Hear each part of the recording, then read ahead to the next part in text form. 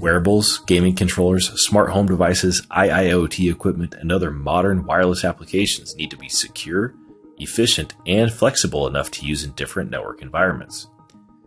NXP Semiconductor's Freedom RW612 development board, available from Mouser Electronics, features the Tri-Radio RW612 wireless MCU with a 260 MHz ARM Cortex M33, a dual-band Wi-Fi 6 radio, and a separate narrowband 2.4 GHz radio for Bluetooth Low Energy 5.4 and 802.15.4 protocols.